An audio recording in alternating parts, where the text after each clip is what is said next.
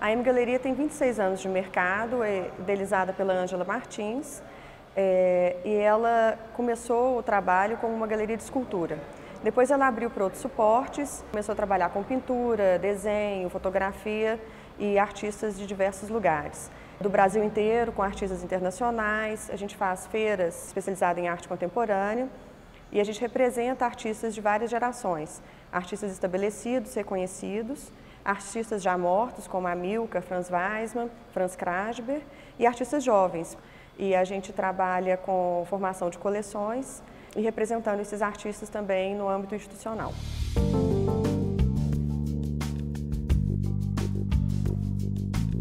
A exposição Jomar Bragança é um projeto que a gente está desenvolvendo há três anos e foi maravilhoso fazer esse projeto.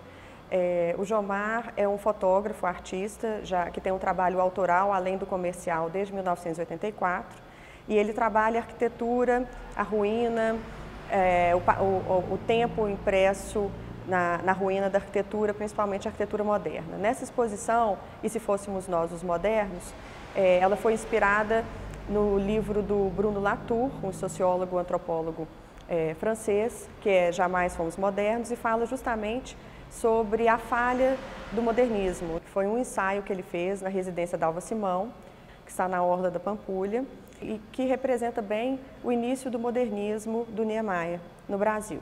O ensaio era feito de imagens duplas e que trabalhavam também os aspectos construtivos da arquitetura moderna no Brasil. Cobogó, o uso do concreto e tinham várias fotos, né, várias, várias obras que trabalhavam o jardim, espelho, madeira, lambri de madeira e com certeza ela vai caminhar agora para uma instituição fora de Belo Horizonte.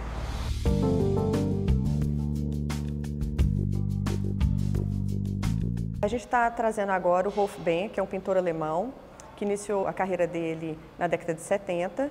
É um artista que trabalha abstração, é, mais com uma, uma, certa figuração e tem um conjunto de trabalhos muito consistentes desde então. O Rolf já fez mais de 70 exposições individuais no mundo inteiro e diversas coletivas, está presente em, em várias coleções, é um artista bem importante. E, é, e nessa exposição a gente está trazendo é, Naturezas Mortas Bagagens. Esses trabalhos são feitos em tinta acrílica, óleo e colagem de papel.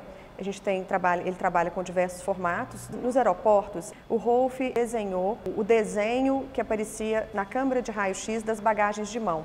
E a partir disso, ele fez esses quadros que são paisagens aéreas de bagagens. O Rolf, ele vai imprimindo as cores, né? ele vai colocando nessas pinturas a, paleta, a paleta de cor que ele acha que é mais interessante construindo também, de novo, uma ficção em torno da bagagem.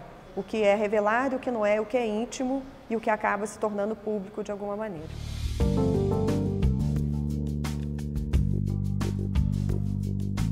Dia 19 de novembro, a gente vai receber a primeira exposição individual de um jovem artista mineiro, Bruno Cansado. O Bruno é um escultor que, apesar de ser muito jovem, já ganhou vários prêmios. Prêmios residência, tanto na Europa, nos Estados Unidos, quanto aqui no Brasil. Isso permitiu que ele desenvolvesse bastante o trabalho dele e com isso tem uma pesquisa bem consistente. Ele trabalha com concreto, com parafina, com carvão, com papel, com madeira. Então vai ser uma exposição que vai abarcar os últimos três anos de produção dele, tanto em escultura quanto em desenho e instalação. E eu convido a todos para virem aqui prestigiar mais essa exposição, a última do ano.